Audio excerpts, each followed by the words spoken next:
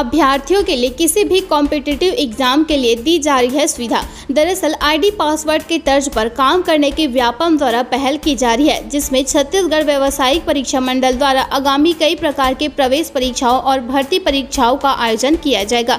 इसमें आमतौर पर एक ही आवेदक कई परीक्षाओं के लिए आवेदन करते हैं, जिसमें प्रत्येक आवेदन में अपनी व्यक्तिगत जानकारी बार बार भरना पड़ता है। लेकिन अब ऐसा नहीं करना होगा, क्योंकि इसमें कुछ नई सुविधाएँ दी जा रही है।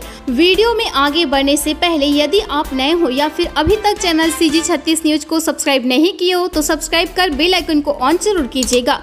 तो अभ्यर्थी की सुविधा के लिए राज्य शासन के निर्देश पर व्यापम ने आवेदकों के प्रोफ़ाइल पंजीकरण की व्यवस्था अपने पोर्टल पर की है, जहाँ एक बार व्यापम के पोर्टल में प्रोफ़ाइल रजिस्ट्रेशन पंजीयन करने के बाद परीक्षा विशेष के लिए आवेदन करने हेतु आवेदक को बार बार व्यक्तिगत जानकारी नहीं भरनी होगी, और यह जानकारी आवेदन भरते समय उनके प्रोफ़ाइल पंजीयन में स्वमेव आ जाएगी। इससे त्रुटि की संभावना कम होगी। लेकिन अभ्यर्थी इस बात का ध्यान रखे कि व्यापम द्वारा आयोजित की जाने वाली परीक्षाओं की आवेदन भरने से पहले व्यापम के पोर्टल पर प्रोफ़ाइल पंजीकरण करना अनिवार्य है, जिससे प्रोफ़ाइल पंजीकरण सिर्फ़ एक बार करना होगा और उसी प्रोफ़ाइल पर लॉग कर अभ्यर्थी व्यापम द्वारा आयोजित परीक्षाओं का आवेदन भर सकेंगे।